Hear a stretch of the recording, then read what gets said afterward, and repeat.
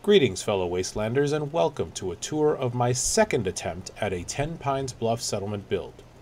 This build was done on a PlayStation 5 using the Fallout 4 Game of the Year Edition, which includes all DLCs such as Nuka World and Far Harbor.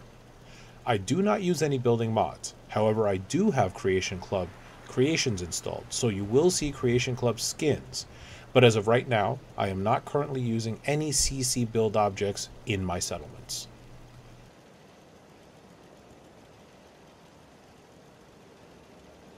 Okay, let's get started. We start at the front of the settlement, around where you would wind up when you fast travel to Tenpines Bluff. Unlike my last build, I wanted this part of the settlement to be more fortified and robust, hence the two guard stations on the right. This is also where attackers will generally spawn, so I have several turrets here ready to greet them with firepower, including one sitting on an animal cage, hence the unique texture off to the right.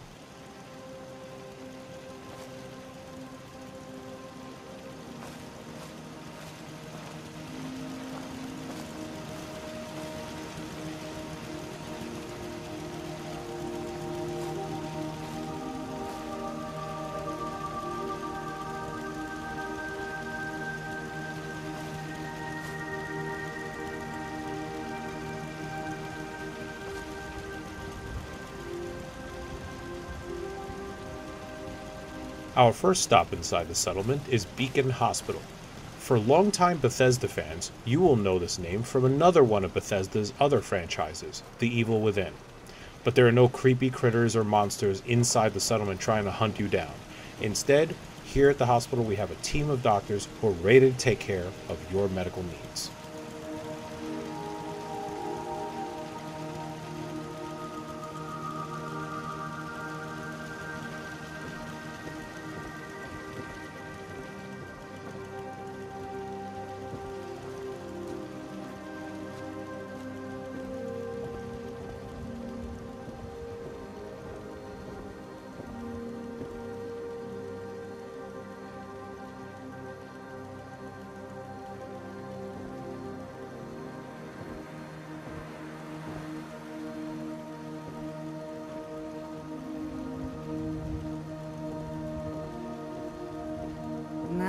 Doctors around these days.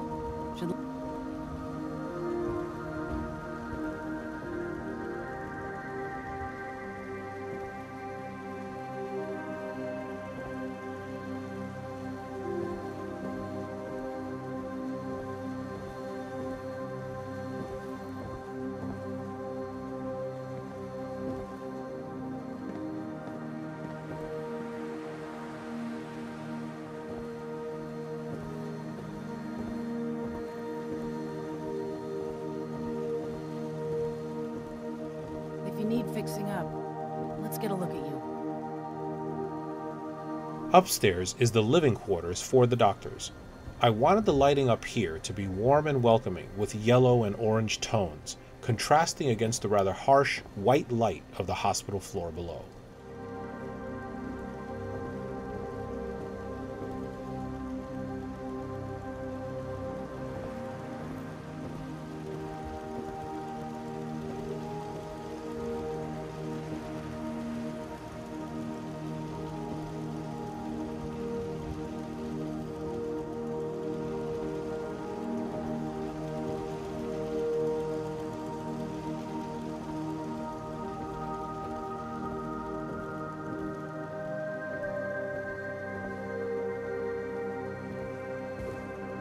This living area also features a private bathroom that the doctors share. By wasteland standards, this is a luxury.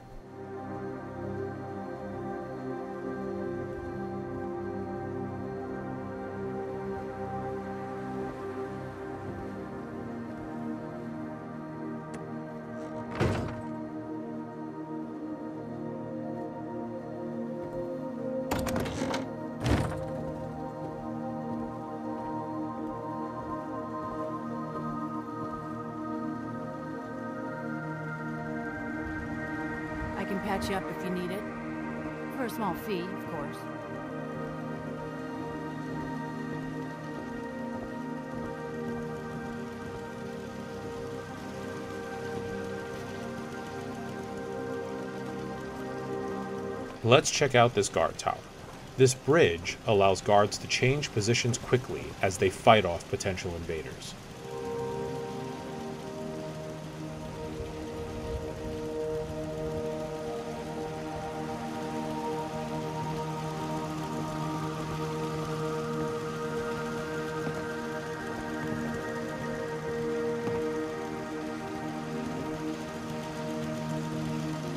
This workout area helps them stay in shape and, of course, adds happiness to the settlement.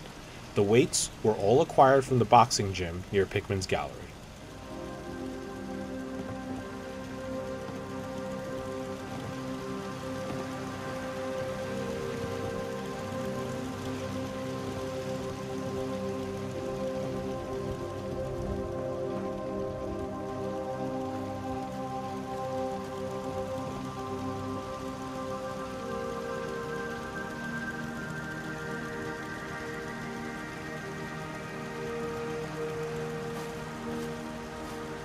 The lower level of this guard tower features the weapons modification area and a suit of power armor for guards to use.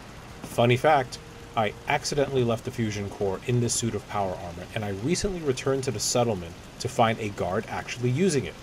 I figured I'd let him have it since he's using it to guard the settlement. You ain't been up to see Graygarden, you should go.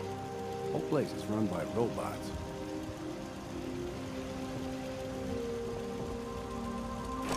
This workshop is actually the original shack that came with the settlement. The original beds are still there, they just have a generator sitting on top of them. This wasn't my original idea. I saw Sardeliac do this in one of his builds and took inspiration from that.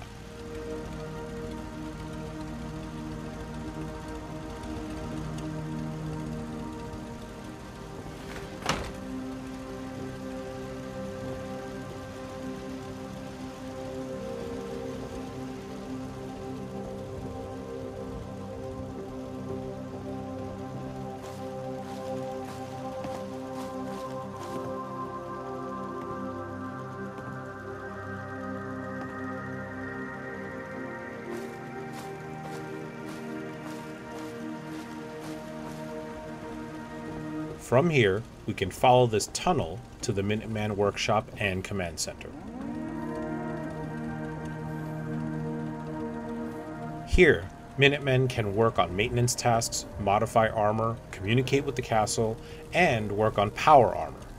In my last build, I had turned this section into a bar, Yeah. so I wanted to do something a bit different this time.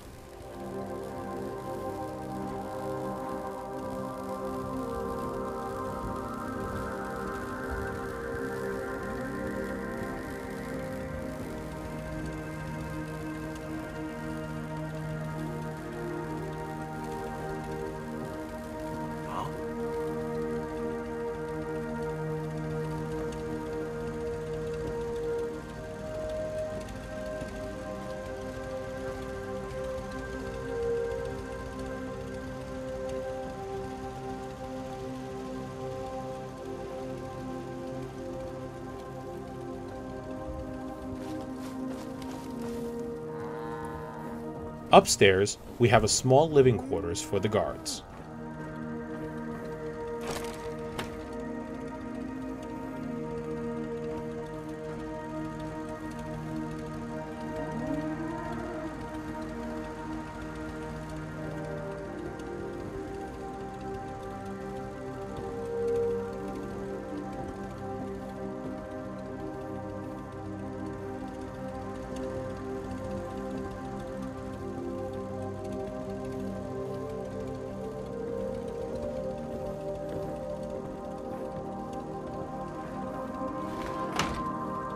Outside, there is a patio area where settlers and guards can cook food and enjoy the view as they eat.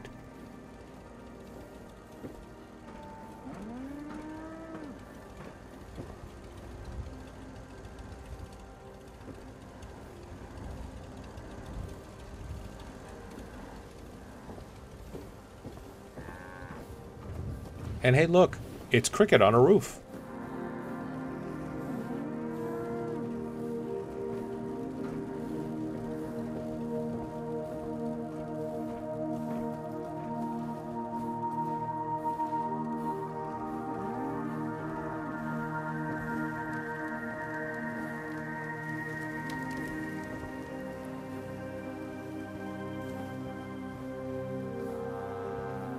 Next up, we visit Shopper's World.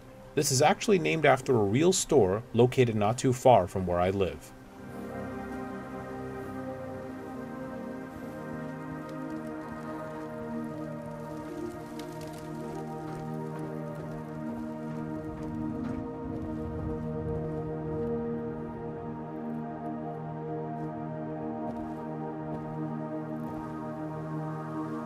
Up here, we have a food vendor stand glitched in with a food cart from Nuka World. The vendor has apparently wandered off for now, but he is here most of the time.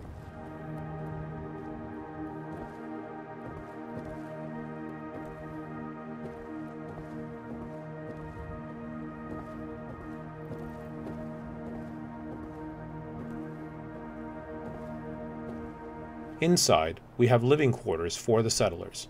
This is a communal space with everything the settlers need to be comfortable, including beds, a place to eat, a stove, and a bathroom to share.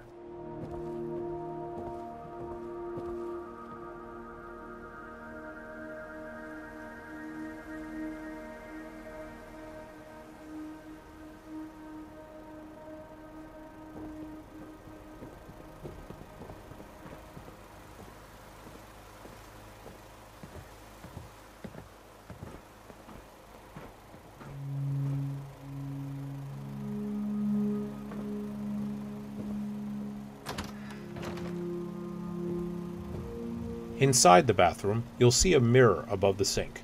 This was created by reversing a poster from the Nuka Galaxy section of the build menu and pillar glitching it into the wall. I learned this method from the Skooled Zone.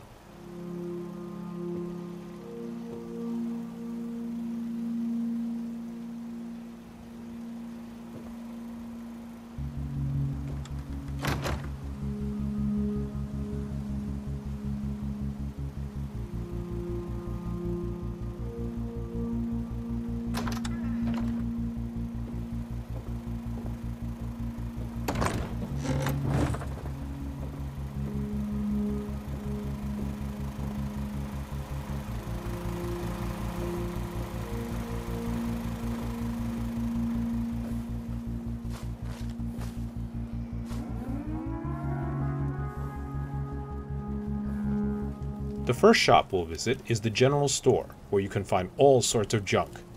The shop owner is wearing one of the Hubologist outfits from Nuka World. It's not an outfit you see used often, so I thought it'd be neat to use here.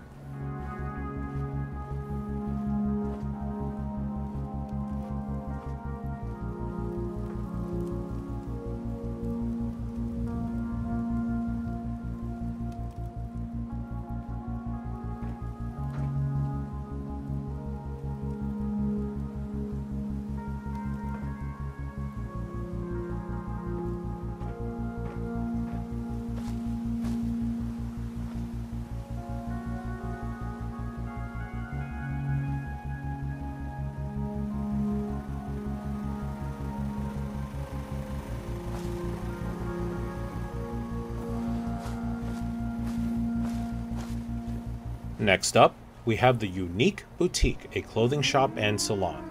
I tend to put these two together to add happiness to the settlement, and I figured while people wait for a haircut, they could do some shopping or hang out and have a drink.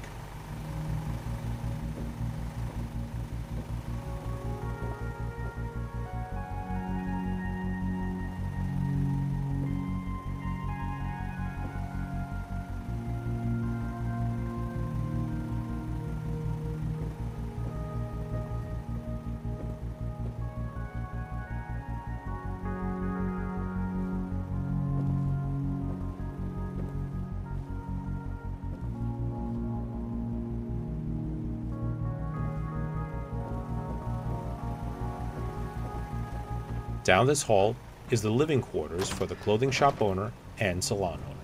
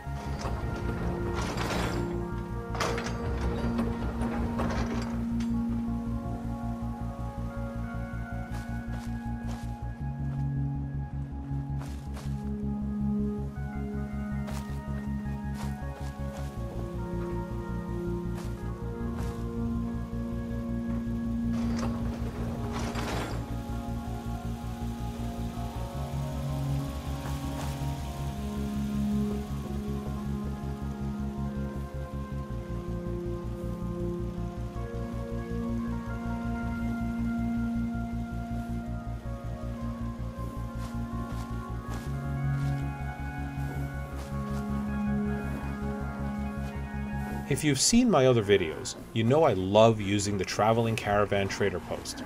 Since Lucas already comes to Tenpines on his own, I figured I'd add the post here for others like Cricket to visit as well.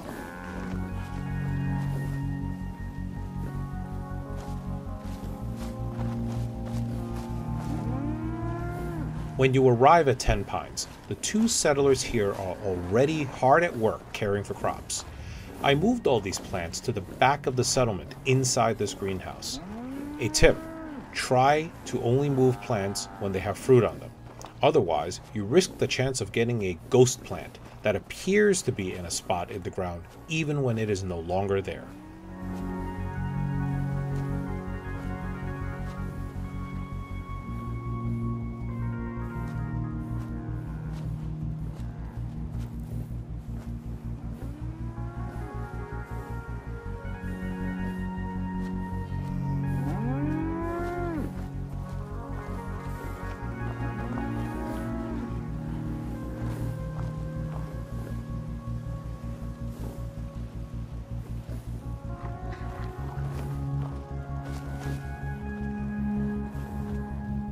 Wish You Were Beer is the restaurant pub at Tenpines Bluff. It is built on the remains of the house in the back of the settlement. I glitched in wall parts and then added prefab structures into the front to add patio areas and give it an odd shape. I learned about glitching the warehouse and barn pieces into this blown out structure from the Skooled Zone. I have linked to the Skooled Zone's video on this in the description below.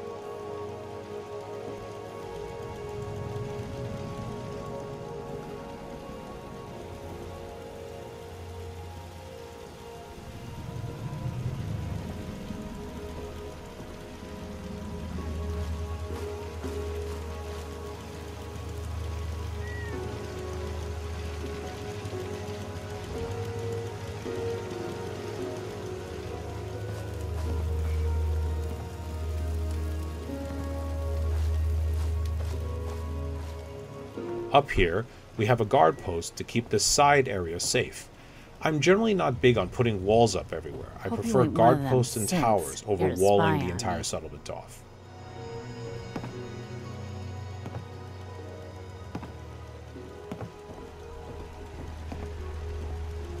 Up another level, and we have the living quarters for the staff of the restaurant pub and other settlers.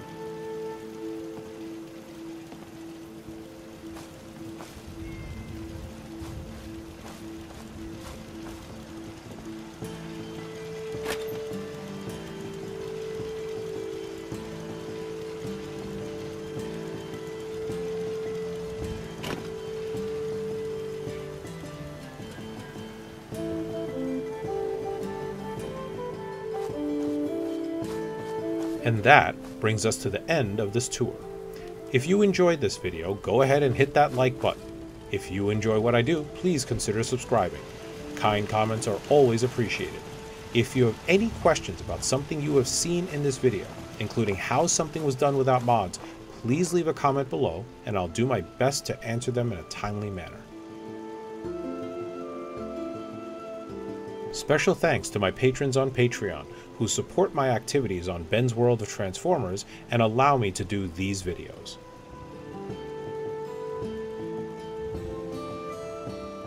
If you'd like to see a quick nighttime tour, keep watching after this message. Thank you for watching.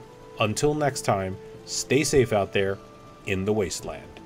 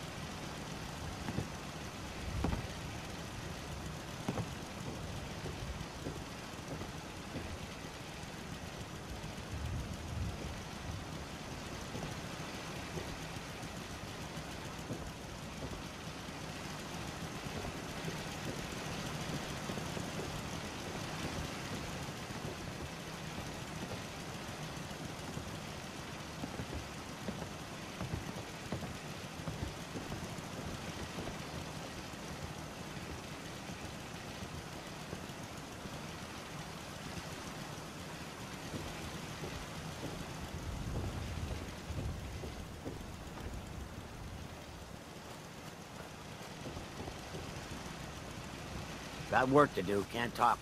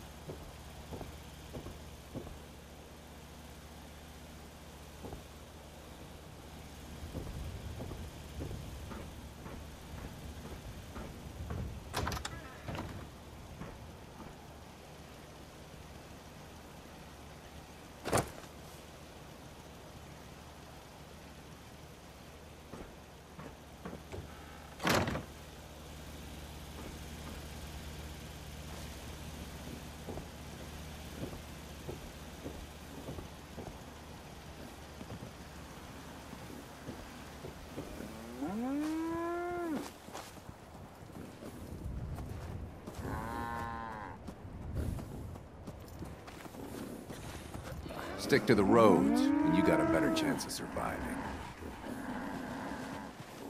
Need to get back to Diamond City one of these days. Biggest town I ever saw.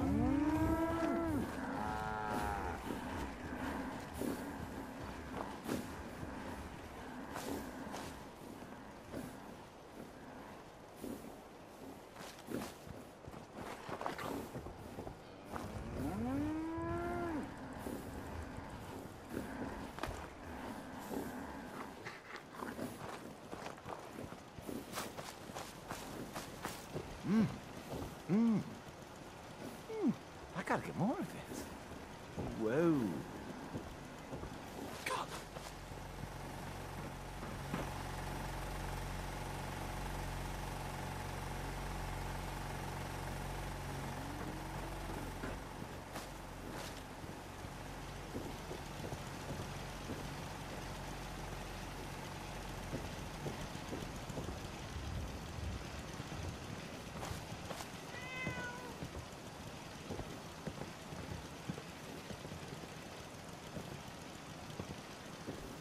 Don't much care for Goodneighbor. That place is nothing but trouble.